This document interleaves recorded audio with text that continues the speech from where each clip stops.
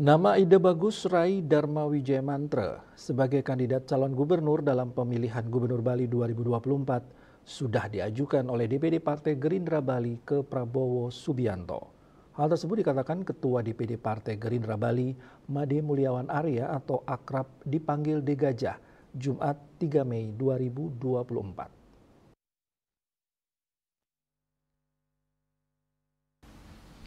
Dilansir dari kantor berita antara, De Gajah mengaku mengajukan tiga nama, salah satunya Ray Mantra yang diajukan ke Sekjen Partai Gerindra.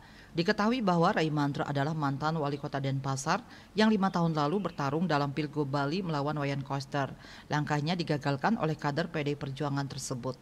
Tahun ini dalam pemilu 2024 ia kembali maju sebagai calon perseorangan DPD RI dan berhasil lolos dengan suara tertinggi sebanyak 494.698 suara.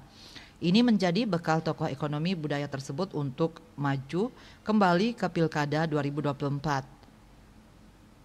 Selain itu, menurut Di Gajah, munculnya nama Rai Mantra dalam bursa calon gubernur berkat pilihan rakyat. Belakangan, paket Rai Mantra Di Gajah menjadi sorotan sehingga DPD Partai Gerindra Bali melakukan komunikasi dengannya sebelum mengirim nama ke Ketua DPP Partai Gerindra Prabowo Subianto. Peraih kursi DPRD Bali pemilu 2024 itu bercerita dari hasil perbincangannya. Dengan Rai Mantra semestinya tidak ada halangan. Politisi berusia 57 tahun itu disebut De Gajah akan menerima pinangan apabila mendapat instruksi dari Prabowo dan Jokowi.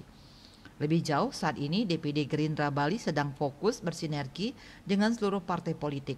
Mereka menyadari jumlah kursi yang di koleksi belum memenuhi ambang batas. Maka dari itu mereka membuka kerjasama untuk berkoalisi dengan seluruh partai politik sekalipun hanya memiliki satu kursi di DPRD Bali. KMB Bali Post melaporkan.